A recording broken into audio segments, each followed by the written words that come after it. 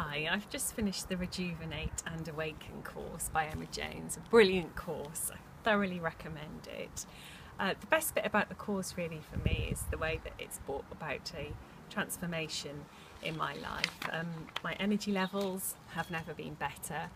Um, even my husband comments that I'm a nicer person to live with.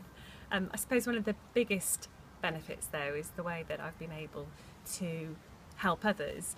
Um, and an example of that is um, when my son got thrush and also a, an infection in his toe, and I was able to treat it uh, using natural methods as opposed to antibiotics.